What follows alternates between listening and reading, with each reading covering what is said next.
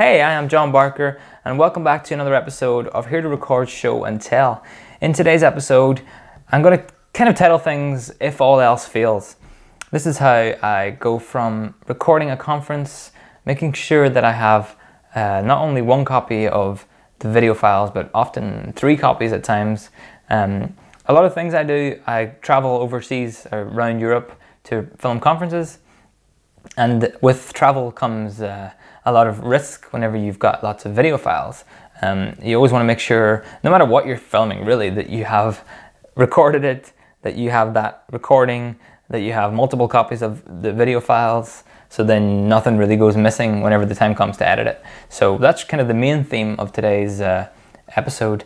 If all else fails, is basically my way of saying if I lose one copy of it, at least I have this other thing. So if all else fails, I can re-edit this, or if all else fails, I have a slightly less quality, a better quality version of something. So it's just a way of thinking. Um, it sounds negative, but I don't want it to sound negative. I want it to sound a little bit more positive in that it's not the worst thing if a hard drive dies. It's, um, it's okay, it's recoverable. I've got another copy of things. So on the table, I have a few different ways I record conferences and stuff. Um, good old SD cards and cameras. I have the Hyperdeck uh, Shuttle SSD recorder here. And I also have my Blackmagic Design Video Assist uh, recorder here as well. And um, I just want to take you through basically how I make sure that I have multiple copies of everything. So it all kind of begins on the day of the recording. I have my two cameras set up for most of these sort of conferences and stuff. And um, I have my X-A10 and my uh, G25, but in this case I'll just say camera 1 and camera 2. And these are the sort of ultimate fallback recordings. Um, camera 1 will have the audio and the video. Camera 2 will be a wide shot, um, just the video pretty much of that. So camera 1 is basically the, um, the key close-up of whoever's talking. And yeah, camera 2 is the wide shot. Um, I record on SSD card, or sorry, SD cards for those. Uh, these ones on the table here. I've numbered them all so I know which one's which, but um, I'll just put these in the, the cameras and then press record pretty much all day. They just sit recording for most of the day, not during breaks. If it's longer than a five minute turnaround, then I'll just stop them. But otherwise, they'll just record all day. So that's why here you can see that as the day progresses, um, they're just recording everything pretty much, except for the odd break maybe, but they're just pretty much press record at the start of the day and um, capture everything. And that's the that's the main sort of if all else fails, like I said, if all else fails of all the other ways I've recorded the uh, the conference, the edited versions, then I can always just come back to these and I can re-edit things. It'll take me some time, but I've got it. So that's that. Um, some cameras will let you do two SD cards at the same time for extra backup. The cameras I have will let me do that as well, but for me, that's just a little step over what I need right now. Maybe someday, but for now, that's um, a little bit too far. So I've got one solid recording on each camera on the SD cards, and uh, I'll just record that all day, and then I've got that if all else fails. Next up, I use the Hyperdeck uh, Shuttle. Like I said, this is a SSD uh, recorder, so I have my Extreme Pro disc in there, and that is recording the um, not everything throughout the day, uh, you can see here that it's sort of like a chopped up version already of the talks. So I'll just, as the speaker sort of gets introduced, I'll press record on the uh, Hyperdeck shuttle. And then as the speaker's final applause is sort of dying out, I'll press stop on that. So the, the gaps in the middle that you see are just sort of um, the speaker leaving the stage with their laptop maybe and the, uh, the presenter of the conference is coming back on again to introduce the next person. This is just stuff that I'll never edit and I'll never include in the video, so I don't really record that on the Hyperdeck.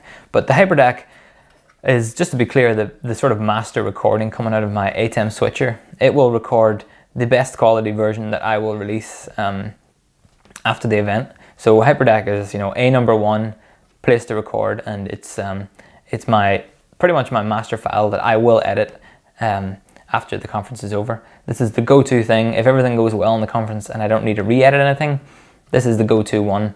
It'll be the one I use. The Hyperdeck Shuttle is recording ProRes 422, which is really good quality and is what I want. Um, it can last for a full day on this 960 gigabyte uh, hard drive, so I'm perfectly comfortable recording in that codec. Uh, on the Video Assist, I actually have a um, 128 gigabyte uh, SD card in there, and I record everything that is recorded on the HyperDeck. I also record that in the Video Assist, so you'll see a similar uh, sort of pattern here on the graph. As the day fills out, I'll only record the main talks, nothing in between, certainly not the breaks, but not even much in between, just the main talks that I'll edit after the fact. Um, as the SD cards are quite expensive when you want to get big ones, um, I tend to record at a lower quality on this Video Assist. Um, I record ProRes LT, 422 LT, which, I mean, is usable, but it's not nearly as good quality as the um, the codec I use on the HyperDeck. So I just stick with that 42 because I can last a full day on one SD card um, and if all else fails, if the SD cards on the camera somehow tend to, seem to die, and this SSD uh, dies on me as well, then I have a LT version, a lower quality version on this um, SD card here. In the future, I will definitely get a couple more of those SD cards or higher capacity ones and record at a slightly higher quality um, so that this Video Assist version is, I'm fully comfortable with it and it is 100% usable. It is usable right now, but it's not the best quality that I would like it to be. So something I'll get to in the future, definitely. Um, but you know, I've got that there.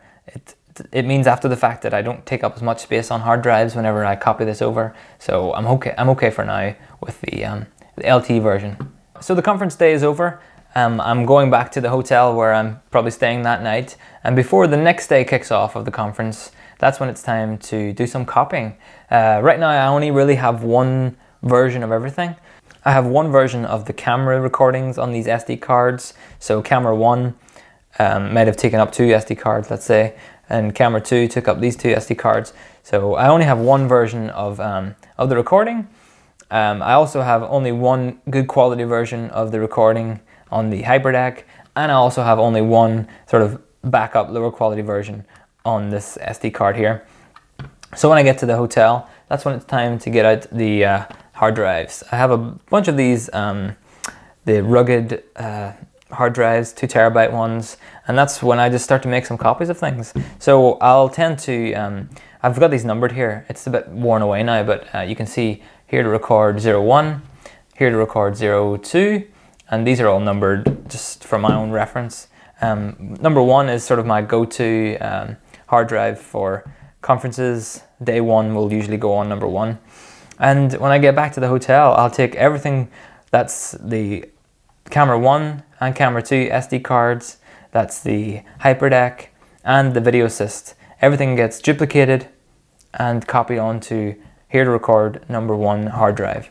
Um, it just puts me with peace of mind that if the time comes and I go to travel home, then I have not only a copy of everything on the SD cards, but I also have, and on the SSD, but I also have on this sort of spinning hard drive, I have um, a backup of everything. And then the next thing I like to do is I like to take the HyperDeck uh, recording, which is my you know really good quality recording, and I'll make another copy of that onto here to record number two hard drive. So that means that whenever I am traveling home from the conference, I'll have not one version, which will be on this SSD, not one version, not two versions, but three versions of the same file. Um, so that whenever I get back home again, I've got a bit of redundancy. I can split up these hard drives on the plane. Um, one can go underneath in the um, in the cargo. The other one can come with me, and I can just be safe knowing that at least I have a few versions of the same file. Um, that takes me through day one and I can be rest assured that I have the SD cards with all the original footage on there. I have three copies of the good quality footage and I have not one but two copies of the um, sort of backup lower quality version as well.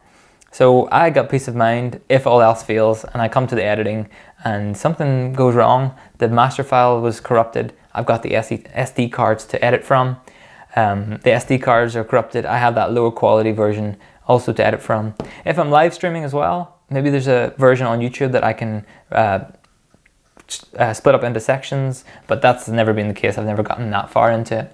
But um, with this sort of backup as you go sort of sequence, then you can be sure that you have a few copies of everything.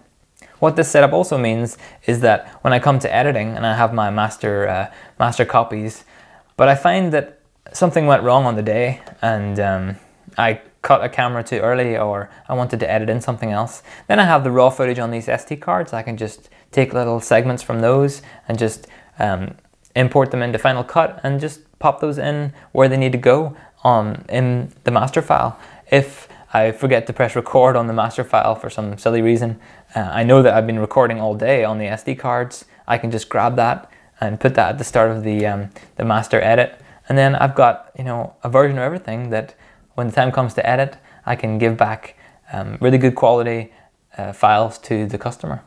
A couple of final thoughts to keep in mind. Uh, SD mm-hmm. cards, they are super cheap. So I've got a whole bunch of these SD cards. Um, if I do a three day conference, I've got enough cards to be in both of my cameras each day and I can save all those cards. So whenever I get back from a conference, I've got six cards that I didn't delete at the end of the day. They're so cheap, why, why bother um, you know, copying them to a hard drive and then formatting them? I can just keep those cards in a little pouch that when I get back home, then I've got six cards full of stuff, edit the conference, and then whenever the time comes, I can just format them and put them back into circulation again. Or I could keep them separate forever as an archive. I don't think I'm ever going to do that, but at least I've got them there so that um, they're so cheap. I may as well just have a whole bunch of them with me and uh, I can put them in the card and record to them and then just save them at the end of the day.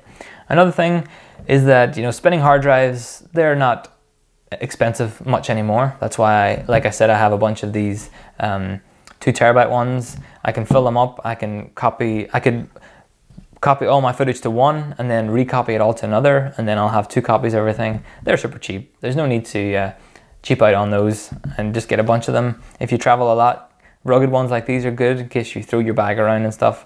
Um, but yeah, they're inexpensive enough that you can buy a couple and be safe that you have uh, one copy and then a backup copy. And these tend to fail, obviously. Most hard drives, well, plenty of hard drives can fail. So having two different hard drives with the same stuff on there just helps your chance if all else fails.